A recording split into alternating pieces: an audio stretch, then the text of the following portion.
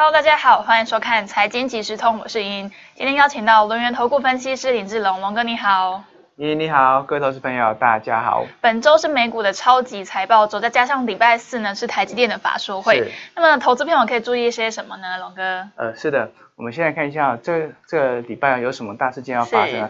最综合认为最重要的是七月十八号的台积电法说。是。那在一月份的时候，这边的大盘处于一个盘整阶段的时候，这边均线开始纠结。我们跟大家说，你要留意一下台积电法说，因为台积电法说会影响到大盘接下来的方向。是。同样的，目前加权指数也是陷入一个区间盘整的形态。那区间盘整形态，我们一样去留意一下台积电法说，因为台积电的法说这边它是代工了全球各大呃电子厂的一些呃晶片。那这边它台积电法说会影响到这个整个全球经济的后续展望，所以七月十八号的这个台积电法说呢非常的重要。那我们来看一下目前市场上对台积电法说这边的呃一些预期法说会讲出一些什么样的内容吗？市场上对对台积电法说到底有什么样的预期？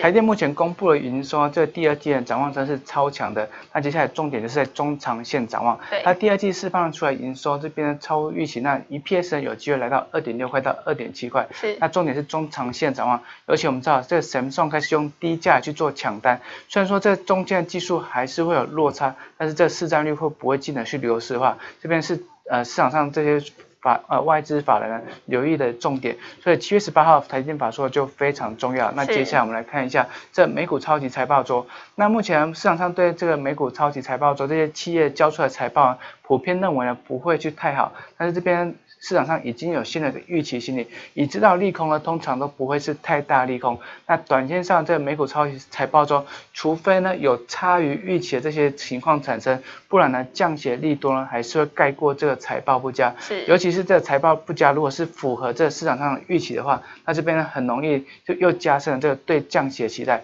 所以我们可以看到美股呢在上礼拜五呢是持续创新高。对。那美股持续创新高的话，那这边加权指数究竟要怎么去看待呢？加权指数。我们在上一拜也是一再跟大家提醒，你这边呢只要留意两个重点跟两个价位就可以了。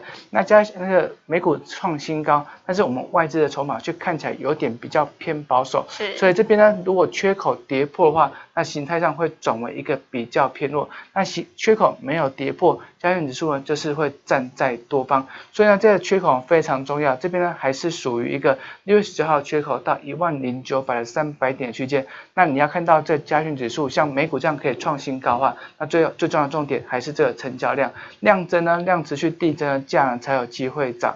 那我们再看到下一个。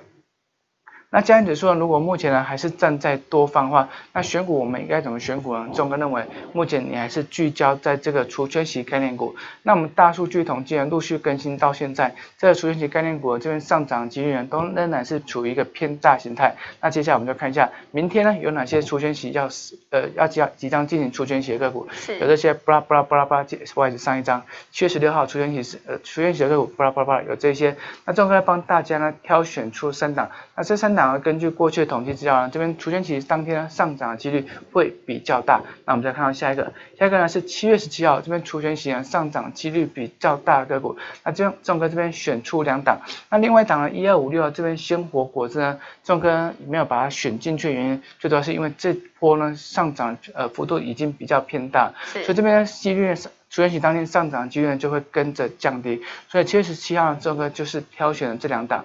那这边除权息个股呢，钟哥会陆陆续续更新在钟哥 Light 股东人生上面，包括接下来已经除权息之后，那接下来两个月内完全填息填息率百分百的个股有哪些，钟哥都会把它公布在群组上面，欢迎大家加入，谢谢。是，谢谢龙哥的分析，更多盘中即时消息以及选股策略，欢迎加入龙哥的 Light。那财经即时通，我们下次见喽，拜拜。